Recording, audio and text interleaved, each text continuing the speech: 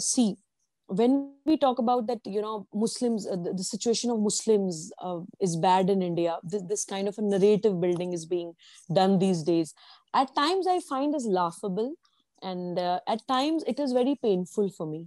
It becomes painful because um, because i do not find words to express the, the amount of love the amount of acceptance the amount of uh, rights i exercise in my country. It is it is very difficult for me to put it in words.